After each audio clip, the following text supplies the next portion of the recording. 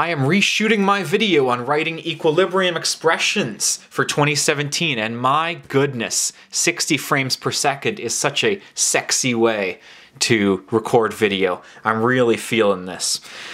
To write an equilibrium expression from a balanced chemical equation, you're going to ignore all of the solids and liquids, put the concentrations of the products on top and reactants on bottom, most teachers will say products over reactants, and the coefficients in the balanced chemical equation will become the exponents in that equilibrium expression. Here, I've already balanced this for us. Six ammonias, eight ozones, be making three N2O5s and nine waters. Now to create the Kc, or KEQ for this reaction, products over reactants, coefficients become exponents. Re products uh, include, ooh, that's an ugly marker.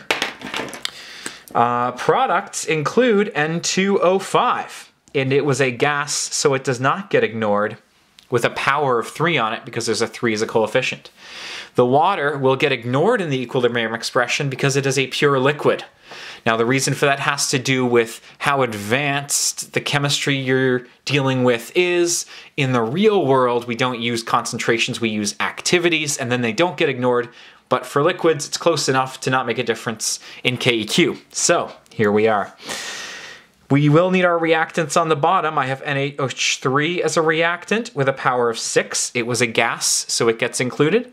And I have ozone with a power of 8, and it was a gas, so it gets included.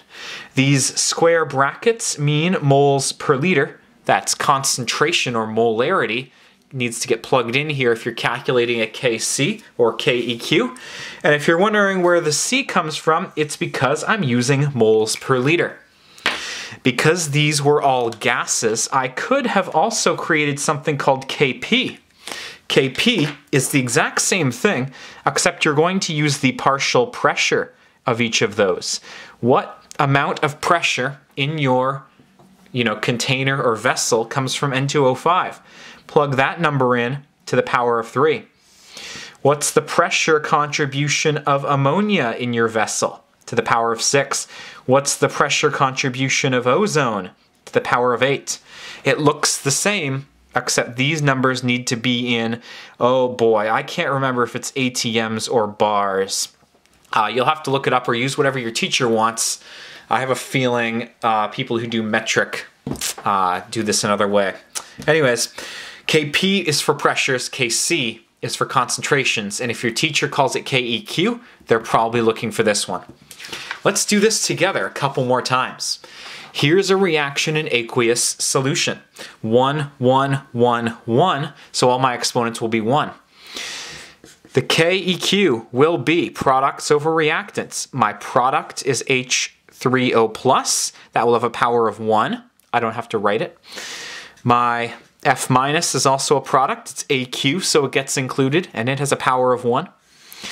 HF is AQ, so it gets included, power of 1.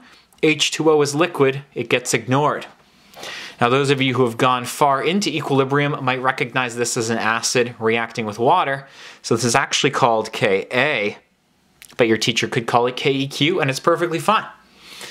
Lastly, I have methylamine, Breaking Bad fans out there, reacting with water to make this.